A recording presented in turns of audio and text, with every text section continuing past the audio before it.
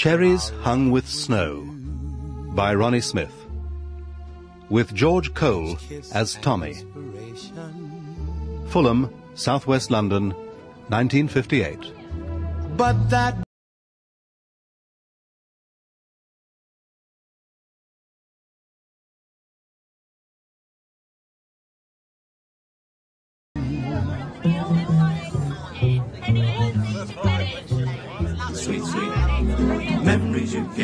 me. You can't beat the memories you gave me. Sweet, sweet memories you gave made of this. can't beat the memories. I really came back to see if I could find Lil. I hadn't been down Fulham way for five years or more. I left the old manor in January 1953, national service, in Korea. After demob, I was restless. I joined the merchant navy for a while, sailed to Aussie and the States, chased the local talent the way sailors do, got drunk, trying to forget. Lost friends, lost loves. But I couldn't forget. Especially Lil. I used to think of her loads at the time. I don't know why. I didn't think I was in love with her or anything. But I did want to see her again. She had been a dear, true friend to me Lil. And a bit more. I would often recall the glorious afternoons we spent together those many years ago. Sweet, sweet memories you gave of me. You can't beat the memories you gave of me. Sweet, sweet memories you gave made of this. can't beat. I was just 17 when she first led me to bed. She was uh, 32ish. Come along, sweetheart. Big hipped, full breasted, creamy skinned, beautiful looking. She was a Rubens masterpiece of a woman. You're not frightened, are you, Dinky? No. I'll be ever so kind to you. She took me by the quivering hand and sunk back into her perfume sheets, naked as heaven on a clear day. Oh, Tommy. I love you. It was an adolescent's lonely pillar dream, realised. Love you. It was an apprenticeship that grew from timorous adventure through frenzied passion to long, lovely moments of just being together. I want to marry you, Lil. what are you laughing at me for? Don't you understand that most of the old girls round here would string me up as a witch if they knew What? that I'd seduced you? Eh? Been having my wicked way with you nearly every afternoon for a month. Plucked your cherry. Oh, I'd have done the same to you, b- but Oh, I didn't know how. I do now. They're right, really. I'm twice your age. So? And they reckon I'm on the game. They're wrong, aren't they? Bigots don't recognise the truth, Dinky. It's nothing to do with the nosy old sods round here. I'm 18 next year. They're going to stuff a gun in me hand and send me to fight the commies in Korea where I might get me privates blown off. I'd rather keep 'em. For you. You're just an old romance. Oh, Lil. No, Come on. Tommy. We've got to stop this. We have. You got a new bloke. Daft. Don't satisfy you, do I? Oh, shut up. You're a lovely kid, Tommy. I'm not a bloody kid. Dinky, if we don't stop now, one of us, perhaps eventually both of us, will be desperately hurt. I was confused. I didn't know how to handle her transition from the ambrosial sex goddess to the moral and maternal status of an ordinary woman. Anyway, she was adamant it was over. So I stopped going round to see her. I started knocking about with the young girls again. But how do you go back to spring water when you've tasted vintage wine? We used to talk of mundane things as we met in the street. And once I saw her smiling down at me from a bus. I didn't know what thoughts or feelings she kept hidden behind that smile. But smiling back, my thoughts were of her fabulous breasts and warm, compliant body. She sent me letters when I went to Korea, regularly. They kept me going through that nightmare. Then all of a sudden, she left Fulham. Nobody seemed to know where she'd gone, or why. The letters stopped coming. I was choked. Sweet, sweet memories you gave of me. You can't beat the memories you gave of me. Sweet, sweet memories you gave made of this. can't beat. Mind you, everything changes, doesn't it? Ever and constantly, like the colours of the sky. There was a time years ago when this market used to stretch all the way from Walham Green to West Ken, a vibrant river of people and loaded barrows. There was the smell of Kent apples and the perfume of pinks and sweet peas, freesias and roses, and steamy horse dung. And the faces of the costermongers were all brick red and bright-eyed and carved from the hard market days of life and weather. And their women were larily headscarfed, London-lined, coarse with laughter, and gypsy dark. Now the stalls have diminished. Some of those old faces will never feel the touch of wind or sun again. Everything changes. It's nearly 50 years since the Korean War ended. I was out there during the last year, 19 years old, seeing my mates get killed. And seeing young girls just like our little Fulham darlings, teenagers, in the first uncertain joy of womanhood. Only Korean teenagers faces plastered with Max Factor napalm, blackened and twisted like crumpled burnt toast, staring with young bewildered eyes. And little kids living in ditches with spam boxes for roofs. And the charging scream of Chinese bugles scraping at your boy's brain like blunt knives as you hug the earth. The crump of shells. The roaming, singing bullets looking for a death kiss. And all the time you were wondering if you'd live to be 20. Some didn't. Lost three of my best mates out there, including my best mate of all, Ernie Higgs. Ego, the eternal loser. I'd known him since infant school. Poor old Ego. I was always having a go at him.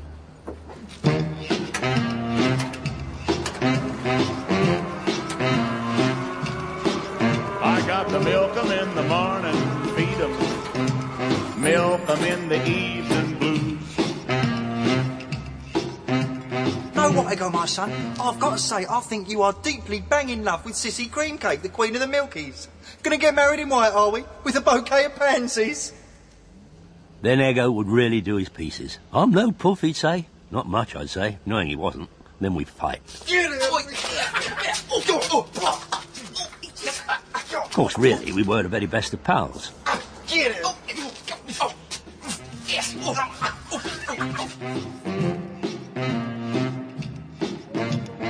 Even though I said you wouldn't give nine squirts, bless your old heart, I love you so much it hurts. I got to milk 'em in the morning, feed 'em, milk 'em in the Thirty for two evening bob. Juicy Jaffas. Milk 'em Turpin Seeds Juicy Jaffas, 30 for two bob. Ossie Cream, cream cake as we green boys used to call him. Express Dairy's milkman, bent as a nine bob note. So what? Give his heart and soul to a friend he would. He did, to Ego. To be fair, cream cake was a diamond. Mind he took some stick in those far off fearful days. Right good idings. Just for being who he was. He didn't give a monkey's. Used to wear fishnet tights under his milkman's apron and pink wash his barnet at weekends. He loved poetry. He was always going on about poets like A.E. Housman, Wilfred Owen, and Siegfried Sassoon. I used to think they were third division North footballers. When he started quoting stanzas, I used to blow raspberries. Didn't appreciate a word of it. And then Lil started putting a few lines of verse at the bottom of her letters. Newly discovered gems from Cream Cake's poetry mine, she called them. I began to look forward to them. And enjoy. My dearest Tommy, I went round Cream Cake's mum's for tea last Sunday. Mrs. Cream's a dear. Poor funny little old thing. She sure was. Flo Cream. Four feet and a bit and about five stone. She was like an ancient fading fairy. Even though the Second World War had been over for more than a ten stretch, she thought it was still on. Used to wear a WVS green berry and an ARP boiler suit and go fire watching every Wednesday and Saturday night down Fulham Town Hall to make sure her cream cake's birth certificate didn't catch a light. Know what, Tommy? Mrs. Cream thought I was Cream Cake's bird. Are you betrothed to my Ossie, Lily? Well, am I, Ossie? Course you are, Presh, says Cream Cake. And little Flo Cream clasps her hands and looks heavenwards. Oh, goody, toody winks. It's about time he got married, Lily dear. He's 32. Thirty-one, mother, says Cream Cake tightly. Course, Tommy. Mrs. C doesn't even begin to realise that her Ossie's a ginger beer. She doesn't know such things. Anyway, cream cake and me chuckle and canoodle, drink this latest wine called Blue Nun, and pretend to get engaged with a rubber band from one of Mrs. Cream's brown ale bottles. we all get drunker and start singing. Here comes the bride, fifty inches wide. See how she wobbles, big backside. Then Flo keels over and we carry her to bed snoring. After that, me and Cream Cake sit together and talk about you and Ego and the others, and how terrible it is, you being involved in war, so young. We start to read poems to each other, for comfort. Cream Cake read me another new one. A.E. Housman. Wonderful. I've written it down for you. Hope you enjoy it. Loveliest of trees the cherry now is hung with blooms along the bough. Now of my threescore years and ten, twenty will not come again, and take from seventy springs a score, it only leaves me fifty more. And since to look at things in bloom, fifty springs are little room, about the woodlands I will go, to see the cherries hung with snow.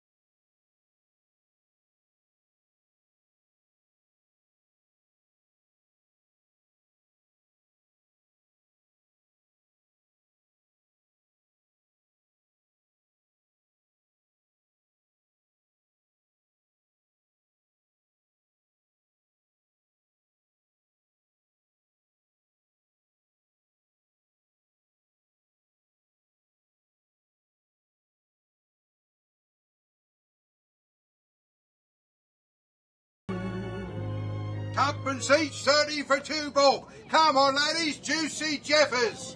Here you are. Tuppence each, 30 for two bob. Come on, ladies, juicy Jaffas. In his yellow and black striped jumper and dark twill trousers, Hector Duckett looked like a giant bumblebee with a bright red face. He certainly had a deadly sting. I thought you was dead. Disappointed? Frankly, yes. Ah, only the good die young. Well, he wasn't no bloody good and he's dead. Who? Ernie Higgs. Ego? Him the worthless git. Ego was 22 carat. Tampered with my little Doreen, though, didn't he? Put her up the stick.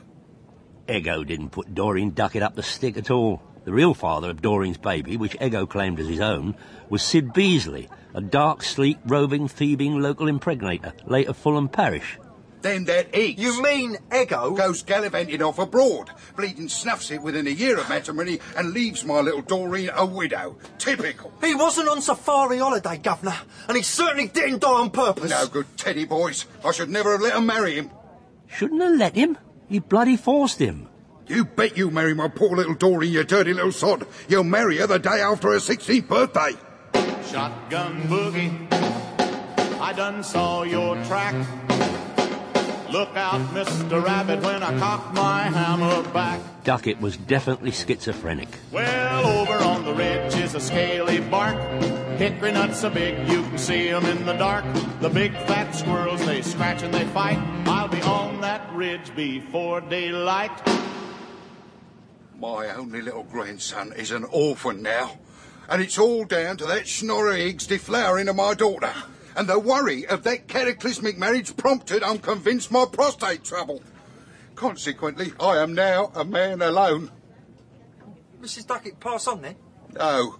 She was enticed away by a meter collector from the North Thames Gas Board who wasn't in need of frequent nocturnal jaunts to the Gazunder. Did he leave a receipt? He didn't even empty the meter. What are you doing back in Fulham anyway?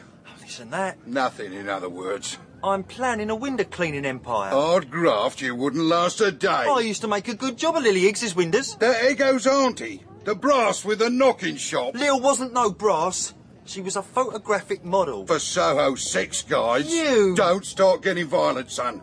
I'm still a special constable.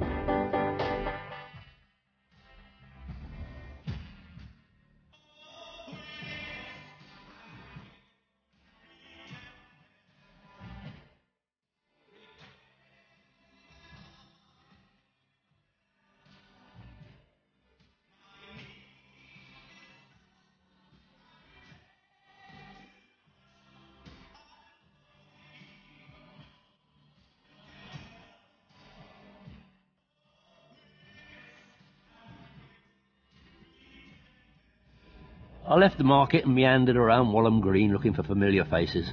There were none. So many had gone. All my old mates sacrificed to war. Young men passing long before their time. Still, death has no favourites. We all get invited to dinner sooner or later. Why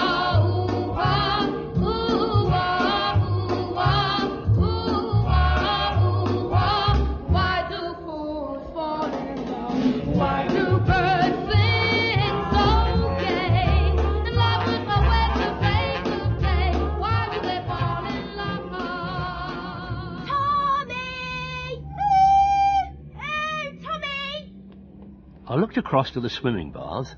A Hollywood blonde hunched over a pushchair was waving at me. It was Doreen Duckett. Why does the rain fall from up above? Why do fools fall in love? Why do they fall in love? I was brown as a nutmeg from foreign sun. My hair all quiffed and greased had been cut to perfection by a Chinese barber in Kowloon for two Hong Kong dollars. I was wearing a black t-shirt, leather jacket and sky blue jeans. And an enigmatic leer. I reckon there wasn't a bird within a ten mile radius of Walham Green who'd be able to say no. Well, one didn't anyway. How lovely to see you, Tommy. I thought it was Tony Curtis. James Dean, they reckon. Oh, well, whatever. You look really handsome. Appreciate it, Ma'am. Oh, it's all right. This uh, Ego's boy, is it? Well, yes. He's nearly five. Marlon Sydney. I tell you, if little Marlon Sydney had had sideburns and a fedora hat, he would have been a growth-restricted Sid Beasley reincarnated. Looks just like poor dear Ego, doesn't he? Yes. She might have been a right old scrubber, but Doreen Duckett was certainly a very good-looking Richard III. She had a pair of bristles that made Jayne Mansfield look flat-chested, and her black nylon legs were sheer perfection. I felt a tremor running through me as I feasted on her rich perfume, trying to avoid the look of invitation lurking in her sexy green eyes. Of course, you do realise I'm a widow now, Tommy. Mind, I've remained true to Ego's memory. Oh, yes. Over five years without a man. Without love. Really, Dor? And do you know, my sweet little Marlon Sydney's never ever seen his dad. Of course he hadn't. Marlon Sydney's pater, Sid Beasley, got blown up on a gelignite job long before the baby was born.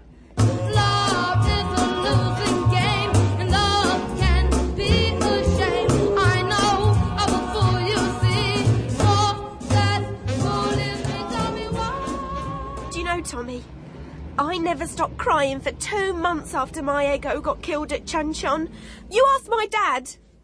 What do you keep bleeding crying for, Doreen? I feel so tragic, Daddy. What for?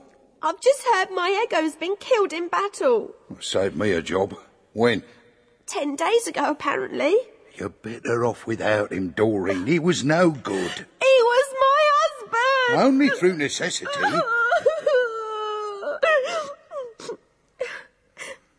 Dad, What? do you think it'd be wrong of me to still go up the Palladium with Josie Duggan tonight? Wrong? Well, Ego's memory and that. The platters.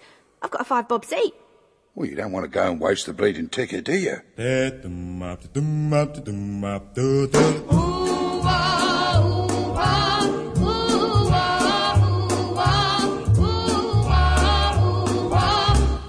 She moved round a pushchair, getting disturbingly close to me. Tommy, Yes, Dor? did you actually see Ego dead? I did, as it happens. Oh, Tommy. I could feel her soft white fingers enfolding my hand. You poor thing. Yeah. I've been talking to him about the Marciano Jersey Joe Walcott fight, you know, in this foxhole the way you do. He started chewing a digestive biscuit. Suddenly there was a whine and a thud.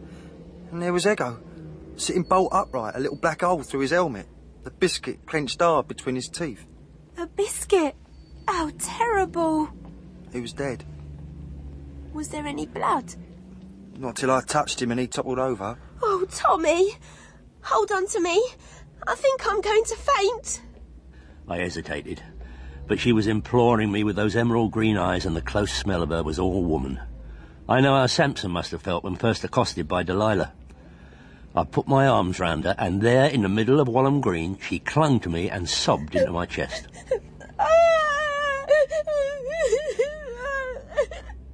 Marlon Sydney howled.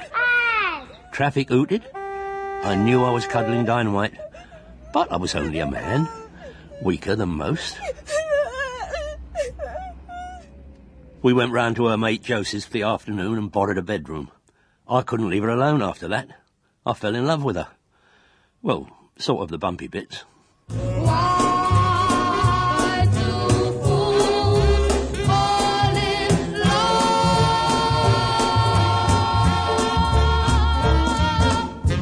On the baby's knuckle or the baby's knee, where will the baby's dimple be? Baby's cheek or baby's chin? Seems to me it'll be a sin if it's always covered by the safety pin.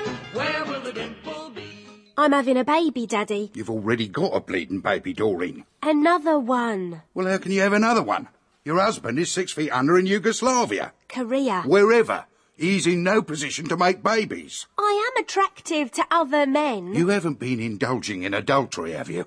I have my needs, Daddy. What needs? Female requirements. You've caught this sort of thing off your mother. Perhaps she had needs too. I gave her more than enough housekeeping. No woman can live on housekeeping alone, Father. Another baby. I- I'm not selling enough Jaffas to keep the one you've got. And what am I going to tell Councillor Mrs. Letts? She's not having a baby too, is she? Don't be so disgusting. She's got 17 year old twins and she's a widow well up in morals. I've been getting on well with her and all. We sat up our Thursday night discussing the rights and wrongs of VD clinics in a democratic society. In fact, we're becoming so friendly she's invited me to the Empire Day whist drive down the Scouts Hut in Fulham Cross. I didn't think Empire Day was celebrated anymore. Some of us still care about the natives. Oh dear, oh dear. Look, let's pray it was a wayward sperm, a leftover from him, that ego bloke, trapped in the fallopians. It's Tommy Smith's. What? Shotgun boogie. I done saw your track. Look out, Mr. Rabbit, when I cock my hammer back. Have you Walham Green teddy boys got a bleeding vendetta against me, eh? No, Mr. Duckett. Then why have you ravaged my Doreen again, eh? You catamite? I, I didn't ravage you, did I, Dora? I didn't quite know what was happening. Well, over on the ridge is a scaly bark. Hickory nuts are big, you can see 'em in the dark. The big fat squirrels, they scratch and they fight. I'll be on that ridge before daylight. Duckett had fists like cauliflowers and a reputation for using them as head bashers when he got the ump. If you yobos these days thought less of your testicles and more of your principles, we'd still have a British Empire to rule over. I was close to the door, keeping my distance from him. Florets of foam bubbled at the corners of his mouth as his fat lips formed the word marriage. Shotgun boogie. I wanted wedding bells. I'll be back, little gal, when your pappy runs out of shells. I'd been this way before. When Ego got married to Doreen, I was best man that time. Anyway, whatever the reason, love, lust, fear, or that old-fashioned concept honour, I married her. And you know what? I was convinced I saw old Ego sitting behind the registrar laughing his head off. I'll get him one day if he was. Anyway, with Doreen safely signed up again, old man Duckett simmered down. He rented us a back bedroom and a gas ring in his Lillie Road terrace for two pounds ten shillings a week. I got a job with the Amalgamated Window Cleaning Company. I also discovered a lucrative little sideline, picking up, legally, bits of Victoriana. Oil lamps, Staffordshire figures, stuff like that. And selling them for good prices down the newly sprung clusters of antique shops which lurked like highwaymen along the New King's Road. Doreen got chubbier by the day as we settled down to the rigours of young married life.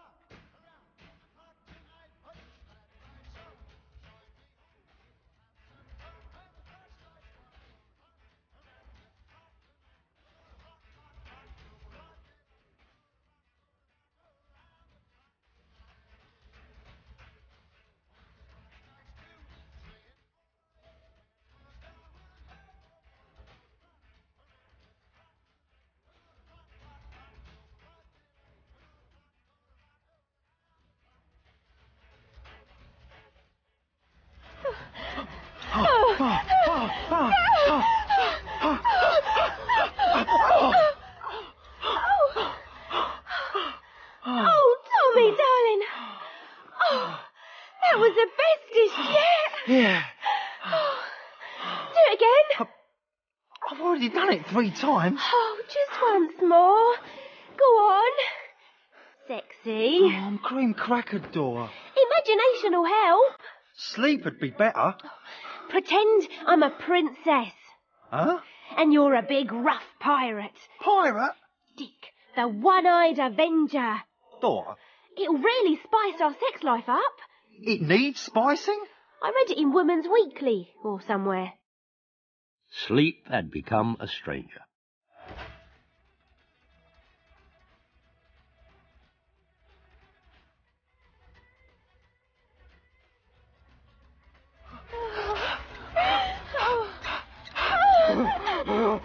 Oh, Mr. Pirate! Dick! Tommy, I'm nearly fainting away. Oh, oh, spare me, please. I'm Oh. just a helpless, pale princess. Do a. Huh? Go on, Tommy. Really cruel. Ah! Shut that bleeding racket in there, you Doreen. You hear me? It's two o'clock in the morning. Duckett was a definite head case. But as his courting of this grand Tory lady, Councillor Mrs. Letts, progressed in earnest, well, I noticed a great change in him.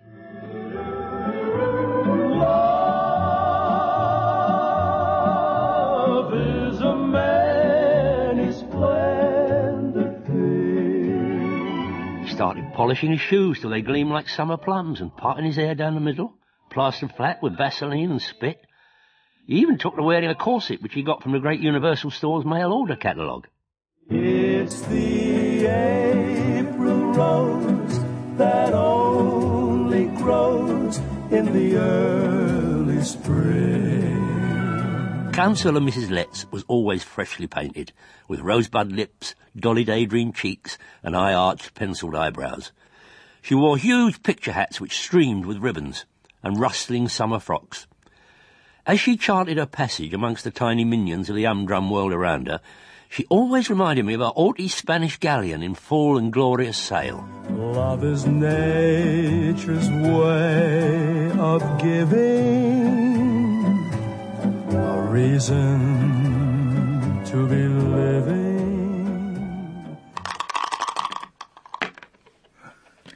One, two, three.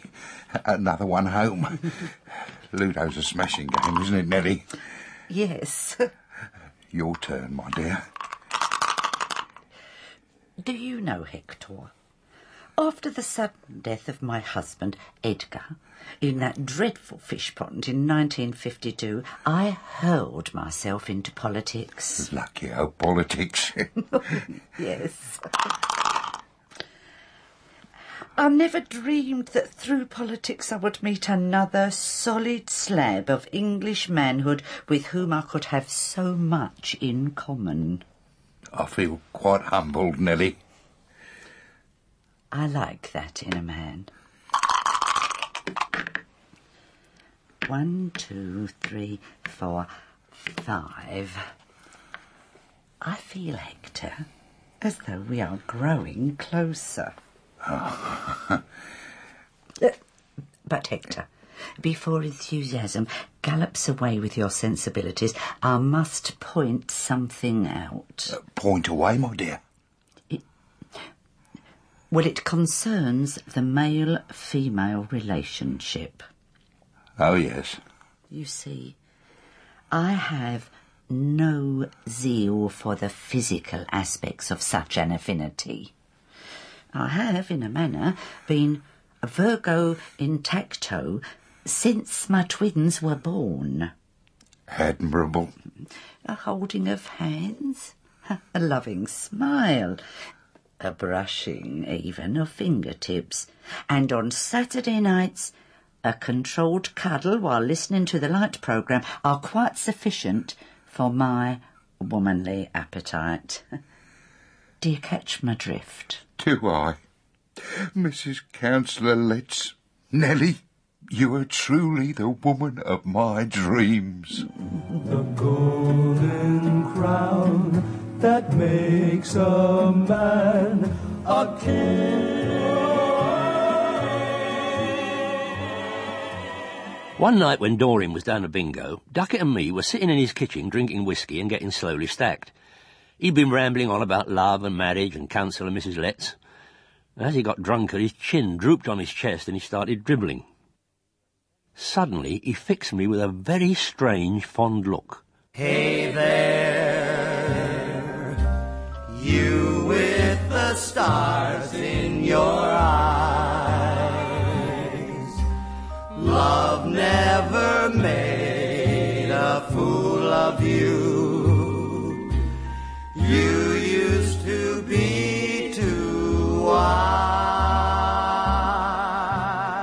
Smiled lopsidedly, reached out and plonked one grey hand on my knee. There's something I want to discuss with you, dear lad. Something personal, private, I went as tense as a Vestal Virgin. straight from my heart. Our eyes locked. My bowels froze. Men's talk. Just me and you. His lips curled back in a smile. I realised he didn't have his choppers in. It wasn't a pretty sight. Oh, blimey, surely Duckett wasn't another cream cake. As I stared at his gums, I began to wonder if it was me he loved and not Councillor Mrs. Letts at all. Or perhaps he was ambidextrous. I was coming out in a cold sweat. I decided that if his fingers spidered up to my thigh, I was going to dive out of the window and scarper up Fish Alley. My son. Only by law I'll grant, but still, my son. I decided to humour him. That's right. Dad? You do understand. You've got responsibilities now, lad, don't you?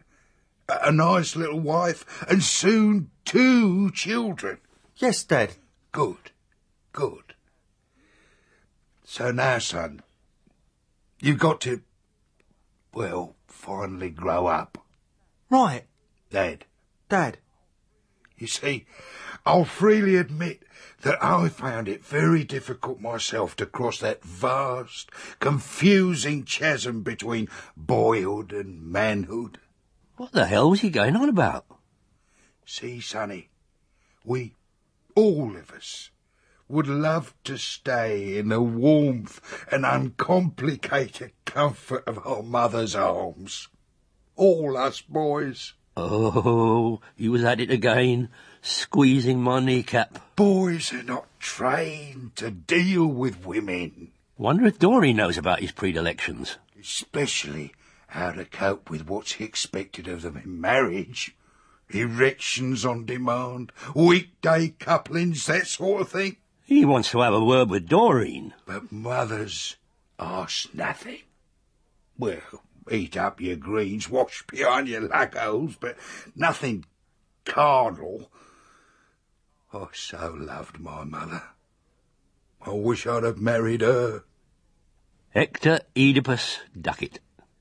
We can't be Peter Pan, son. We're compelled to become men. We have to put away our Hornby trains, our lead soldiers, our Beano comics, and our pirates' outfits. Pirates' outfits, Mr. D- Dad? Yes. He stood up and with a massive sigh opened up a cupboard.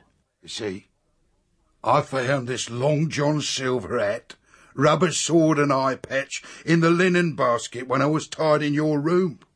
How could I tell him Doreen bought the gear? Down Woolies. For added realism. I was quite moved. Took me back. I used to love playing pirates myself. Do you know, I even tried the hat on and gave the sword a little wave. Pieces of eight! Pieces of eight! but we can't play pirates, son. When we shoulder grown-up commitments, we have to play more dangerous games. So to remove temptation, to help you put away childish things, I'm going to burn this little lot in my beetroot boiler first thing in the morning. Princess Doreen wouldn't be very pleased. We were sailing for Botany Bay that night. Is it all going in one ear and out the other?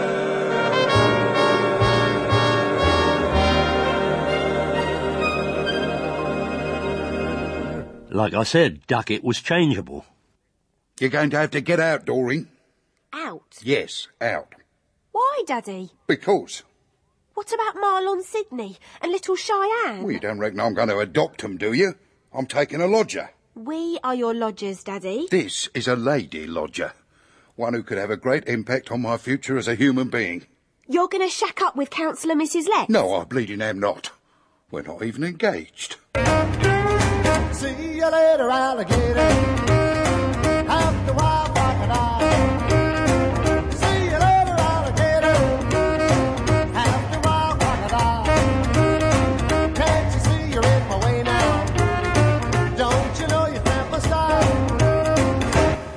So Daddy Duckett gave us the elbow and Councillor Mrs. Letts wangled a London overspill house for us way out in the wilds of East Anglia, near Ipswich. Place I'd never heard of. Isn't it lovely, Tommy? Our own bathroom and marigolds in the garden. I think they're dandelions, Dor. The estate was half built and soulless. The gardens were thick with red mud and weeds. The sky above looked alien and sinister. Crows hopped and cackled everywhere. But I knuckled down. I bought a Ford Thames van and working as a casual trader I started selling antiques round the country markets. I was doing very well, thank you, and giving Doreen plenty of dough. But, like she once said to old man Duckett, No woman can live on housekeeping alone, Father. Ain't that a shame? My tears feel like rain.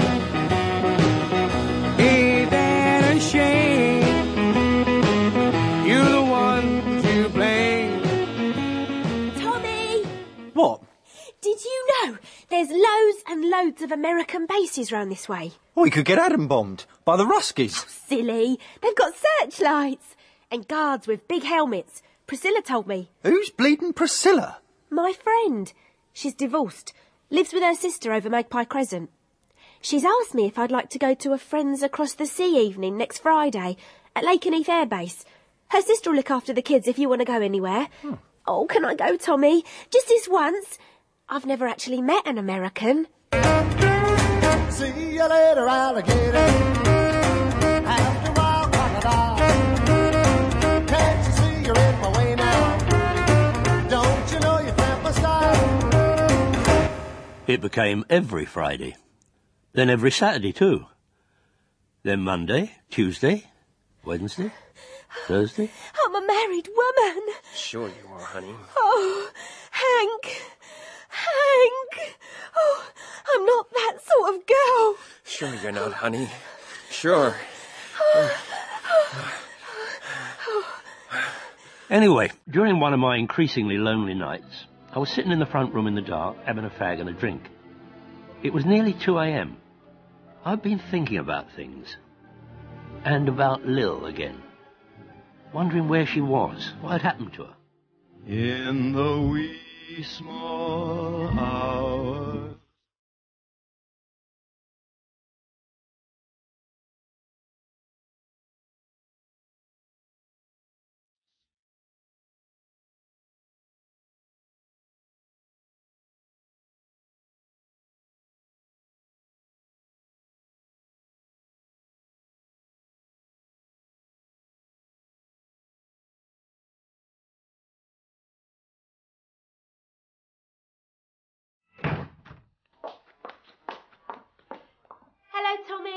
Tommy. Watcher. All right. Fine. Tommy, What? I'm ever so sorry. Why? I'm leaving you. Yeah? Nothing personal. Oh, right. I'm really sorry. I am. Thanks. I've met this American, see? Hmm? A lieutenant from Oklahoma, like in the musical. Oh, he's ever so handsome. But he's not just that. He's kind. Ever so. And he reckons I look like Kim Novak. He wants me to marry him. Um, oh, congratulations. You're such an understanding husband, Tommy. I, I do love him. And he loves me. Whatever happened to One-Eyed Dick, the pirate? Oh, Tommy. Tommy. Oh, you take things so well. You really do. Love's such a funny thing. We did have a good marriage, didn't we? Nine months of unbridled happiness. Oh, what a lovely, lovely thing to say. Uh, oh. Mind me drink. oh, sorry. What about the kids?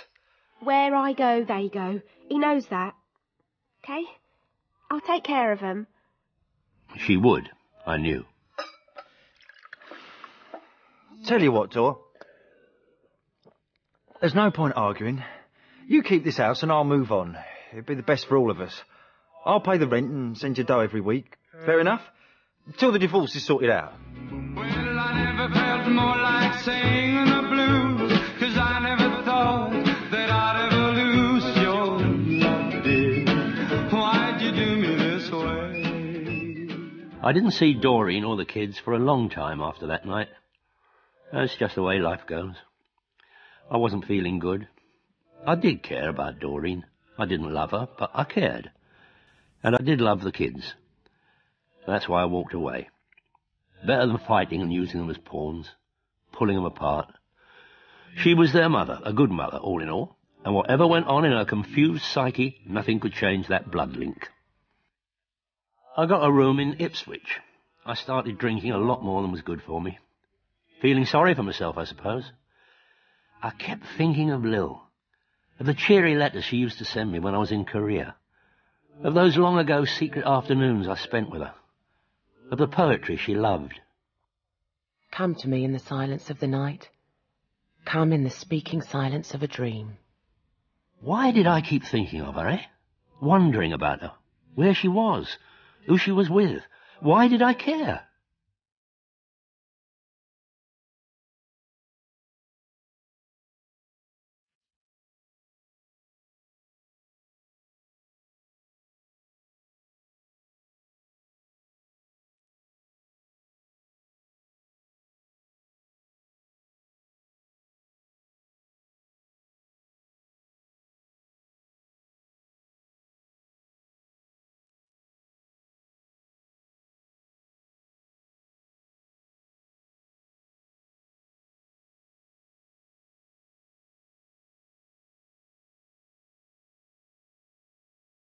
One cold night in early November, I was drinking rum in this pub out in the sticks, minding my own business.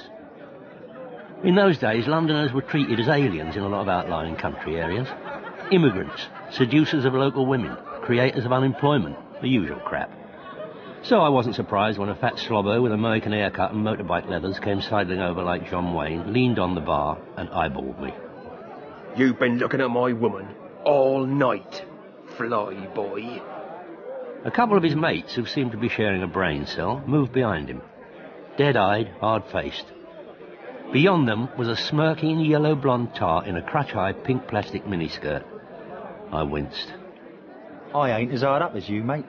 He swung at me with a pint pot in his fist. I ducked and kicked him hard in the delicates. He was as tough as a cartles. He grunted, doubled up, and charged at me, head down. Oh, I went backwards out into the cold air of the night. There were boots and fists thudding into my body as I hit the ground. Something crashed into my head. Everything went black. When I came to, I realised I was hunched up in the back of my own van. Throbbing with pain, I crawled out. Those Suffolk boys had given me a right larraping and dumped my van in a ditch down a narrow lane. It was early light. I followed the lane to the crossroads. The sign said A134, Bury St Edmunds, four miles. Well, I knew there was a railway station in Bury. I could get to Ipswich from there, then sort out the recovery of my van. I hobbled along the verge.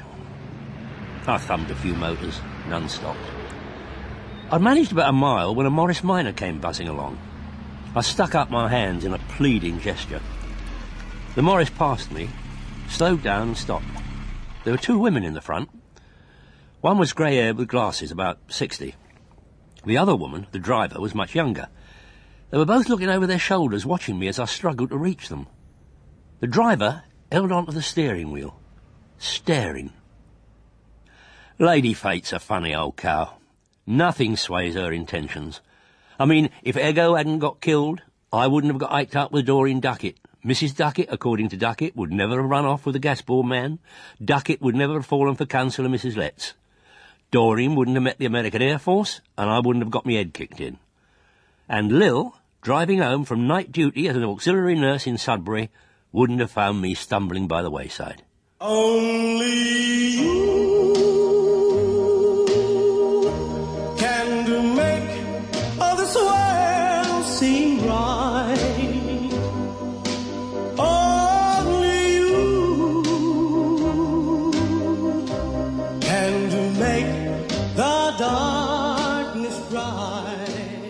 She had this little flat in a quiet street in Bury St Edmunds.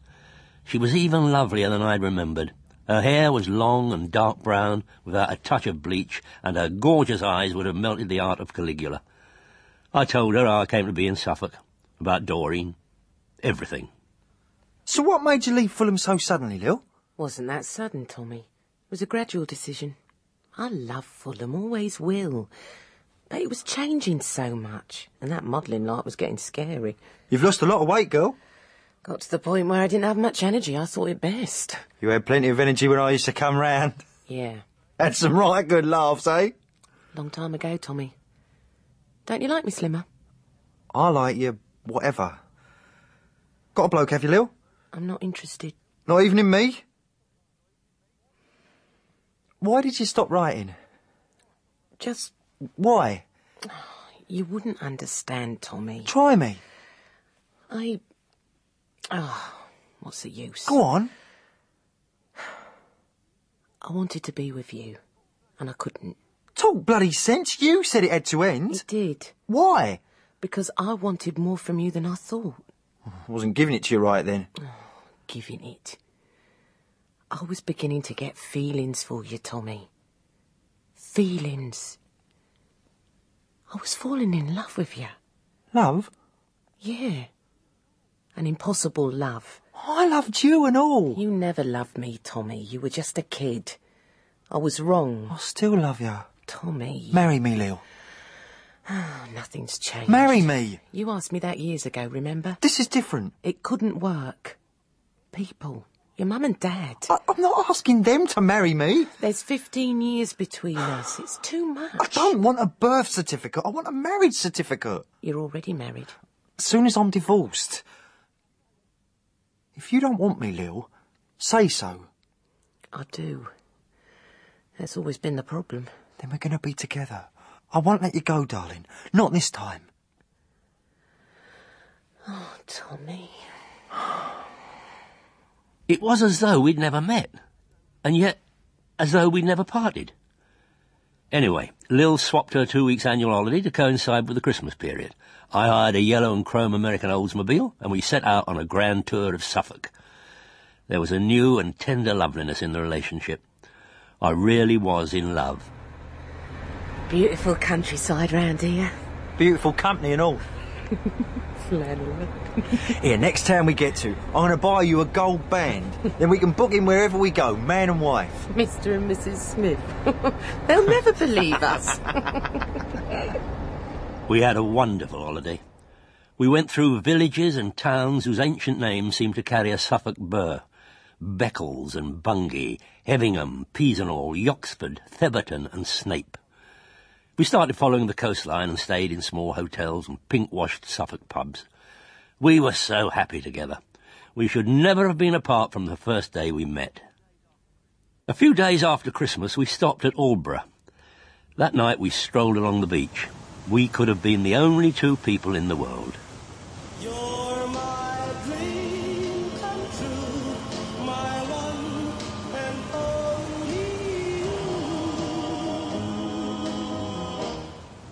Look at all them stars. Billions. I used to gaze up at them in Korea and wonder if you were looking too. Tommy. If I could, I'd haul them down one by one and build you a palace right on this shore. Wouldn't that be bright? People would be able to see everything we got up to. we could always pull the curtains. Let's buy a flat and go back and live in Fulham Mill. what about people? Oh, bugger people. My job? We're together, and I can earn more than enough for both of us. So we moved back to Fulham early in the new year in 1959. We got a flat in Crabtree Lane, and we used to go down Craven Cottage regularly to give Fulham FC our fervent support.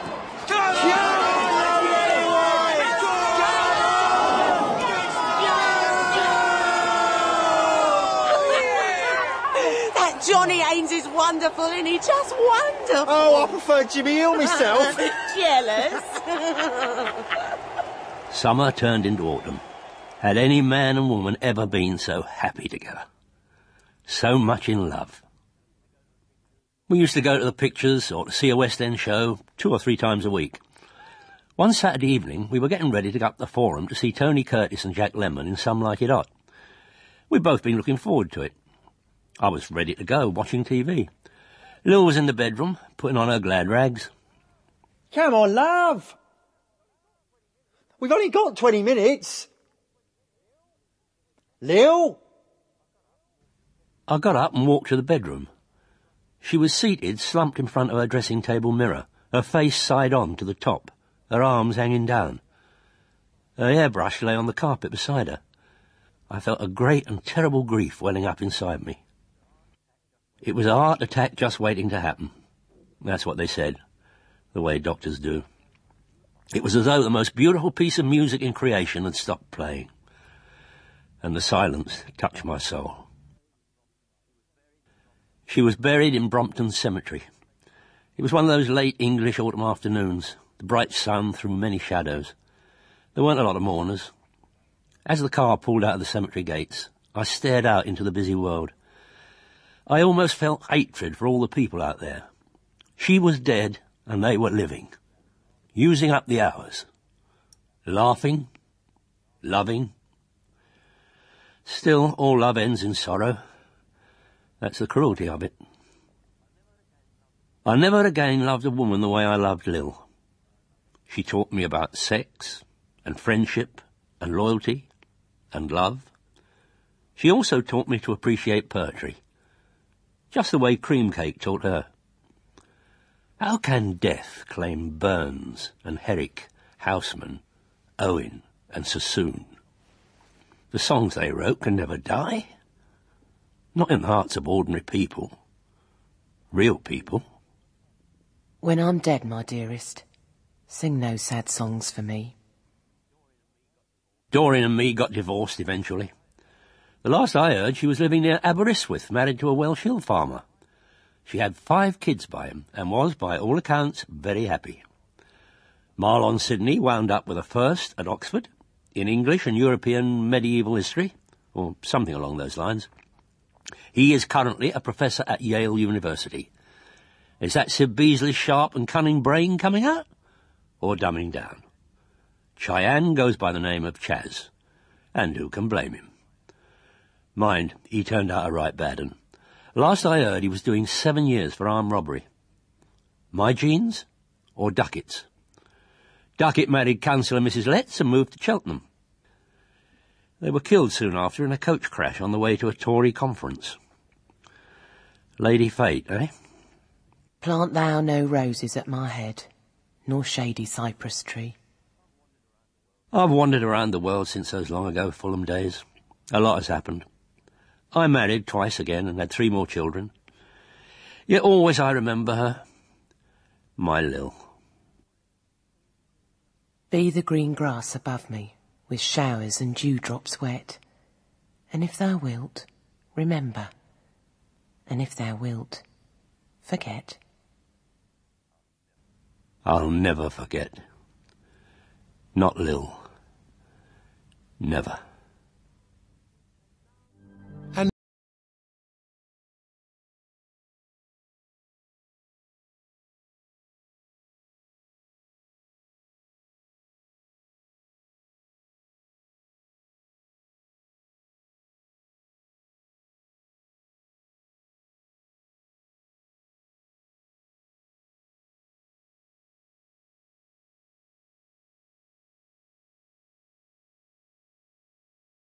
Ronnie Smith, Tommy was played by George Cole, and young Tommy by David Thorpe.